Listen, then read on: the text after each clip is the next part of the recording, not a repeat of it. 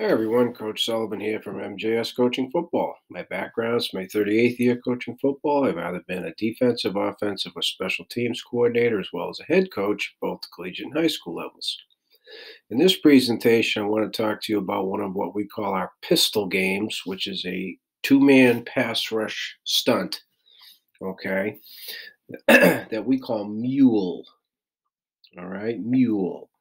So, part of the naming, right, we in a see my pistol playlist, me is opposite the rover, so is mule. So one of the teaching progressions with our kids is in our pistol game begins with them, it's away from the rover. Okay, I mean, just all these little things can help. And it helps kids sort things and put them into their mental boxes and so forth. Okay, so mule begins with M. So it gets a, a Lucky Ringo is away from the rover, opposite the rover. So the inside linebackers will make the call. In this case, it's a Ringo. And what happens in Mule, and I'll give you a story from when we played Becker College. In Mule, essentially, the nose picks for the for the uh, defensive end. Okay, so as always, if it's a Ringo, the stud knows he's in it. If it's a Lucky, the end knows he's in it. Okay, because we stay left and right. So the nose, and this isn't a bad um, stunt to call in a pa- in a run situation either, not just a passing situation.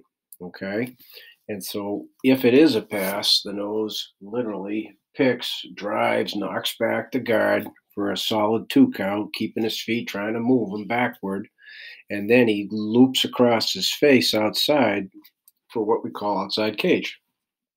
Okay, so he doesn't just run aimlessly out here like the arrow. Once he crosses the guard's face, he then works more upfield, and it literally depends on the, the launch point. This where the quarterback sets up. Okay, again, assuming it's a pass.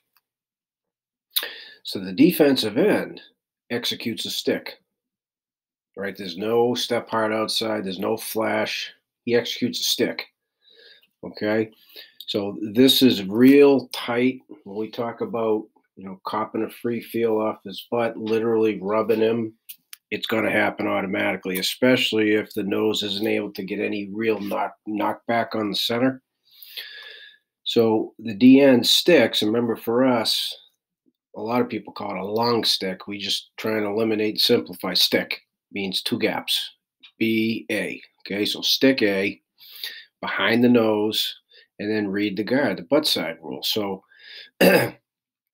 if the guard's engaged, then you're going to stay in A. That's done. Okay, I'll, I'll bring in the center in a second.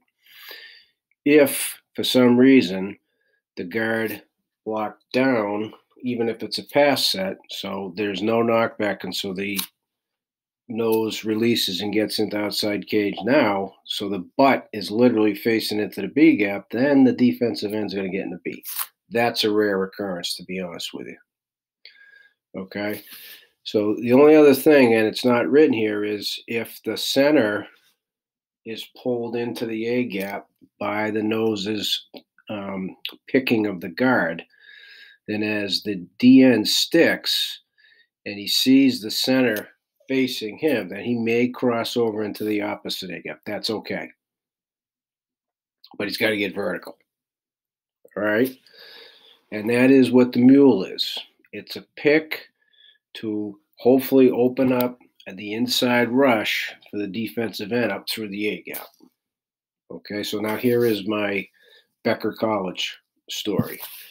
Becker had a tendency in certain situations, in fact, it's third medium, to out of a similar formation, to either run draw, halfback draw up in the A gaps or fake the draw and then have the halfback execute a screen. So, like a drifting type of screen.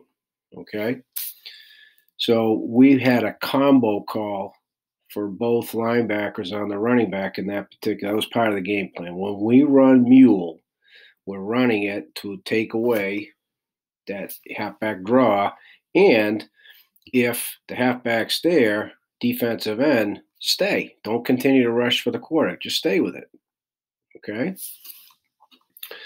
So you think you got everything covered. Well, here it comes. So we call Mule. There goes the halfback, and I'm watching, saying, oh, beautiful, here it comes. Well, the defensive end runs right by him. I'm like, oh boy. Now it's he, he's setting up the screen. He's rushing the quarterback, putting putting a little, not a little bit, but not a lot. Quarterback was good at drawing him back. This linebacker didn't participate in the combo, so he was out here somewhere, number two. So now I'm thinking, holy crap.